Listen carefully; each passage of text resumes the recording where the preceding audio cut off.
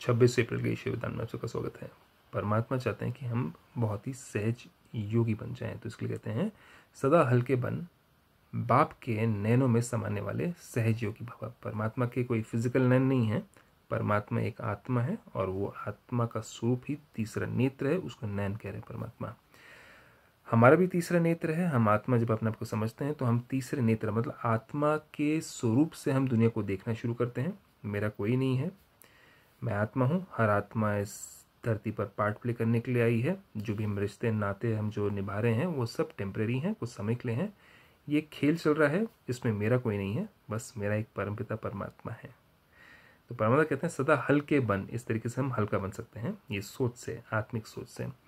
नैनों में समाने वाले सहज योगी भवा। संगम युग पर जो खुशियाँ की खान मिलती है वह और किसी युग में नहीं मिल सकती। संगम युग मतलब आत्मा और परमात्मा का मिलन का युग। और सारे युगों में हमारा परमात्मा से मिलन नहीं होता है।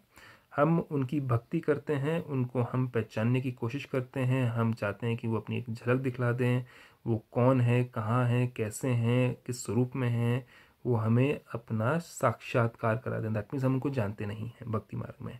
लेकिन जब संगम का समय आता है, महापरिवर्तन का समय आता है, उसमें परमात्मा अपने आप को रिवील कराते हैं। मतलब कि वो अपने आप के बारे में बताते हैं, जिसको कि क्रिश्चियनिटी में बाइबल में रेवलेशंस कहा गया है कि वो रिवील होते हैं कि वो हैं कौन एक्चुअली और परमात्मा कहते हैं कि ये जो संगम युग है, यही युग के समय में, छोटे समय में, सौ वर्ष के अंदर मैं अपने आप को परिचय दे करके सारी आत्माओं को कब्र से उठाता हूँ। कब्र मतलब कोई फ़िज़िकल कब्र की बात नहीं हो रही है। हम आत्माएँ इस शरीर रूपी कब्र में के अंदर दफन हो चुकी हैं। मतलब कि हम भूल चुके हैं, हम आत्माएँ हैं और हम अपने आप को ये कॉफिन ये शरीर मानना शुरू कर देती हैं। तो परमात्मा चाहते हैं कि ये कॉन्शियस बॉडी इसको वो शांत करा दें और अंदर सोई हुई आत्मा जो कब्र के अंदर है, उसको वो जागृत करा दे। तो कब्र दाखिल रूहों को निकालना, जो कि हमारे मुस्लिम भाई लोग कहते हैं। कि अल्लाह कब्र दाखिल रूहों को निकालता है।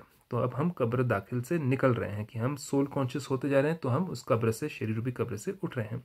ये है वो संगम युग का समय इंपॉर्टेंट संगम युग पर जो खुशियों की खान मिलती है, वह और किसी युग में नहीं मिल सकती, क्योंकि परमात्मा सारा ज्ञान को, सारे चक्र के ज्ञान को, ये दुनिया चली कैसे, कब से चली, कैसे हुई, सत्युग से लेकर कलयुग के अंत तक सारे राज बता देते हैं, पाँच हज़ार वर्ष का चक्र समझा देते हैं हमें। इस समय बाप और बच्चों का मिलन है, वर्षा है वर्षा है, हमें समझ आता है कि ये दुख की दुनिया जारी है और अब सुख का वर्षा हमें मिलने वाला है। वर्षा मतलब प्रॉपर्टी वरदान है, जो मे भी मैं पढ़ रहा हूँ, वरदान, ये वरदानों से हमारी समझ और क्लियर होती है।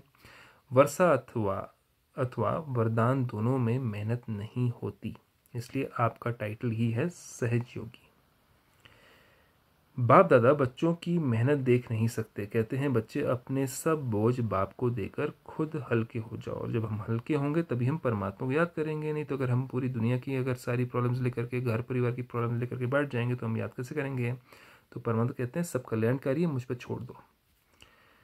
इतने हल्के बनो जो बाप अपने नैनों पर बिठाकर साथ ले जाए। जब हम शरीर छोड़ें तो परमात्मा के नैन याद रखिए, परमात्मा कोई शरीर नहीं है जो कि वो अपने ऐसे फ़िज़िकल आइज़ के ऊपर बैठा के ले जाएगा, कोई ऐसे बैठा नहीं सकता किसी को इतने। तो परमात्मा के नैन हम समझ गए परमात्मा की सूक्ष्म प्रकाश रूपी नैन में हम आत्माएँ उनके नैन से मिल चुके हों और वो हमें ले जाएँ परम धाम। बिठाकर साथ ले जाएँ। कोई फ़िज़िकल सीट नहीं है। बाप से स्नेह की निशानी है। सदा हल्के बन बाप की नज़रों में समा जाना। हल्का बन करके। तो ये परमात्मा हमें सिखाते हैं, ब्रह्म कुमारी उसमें आप ही आकर के इसको सीखिए। ओम शांति।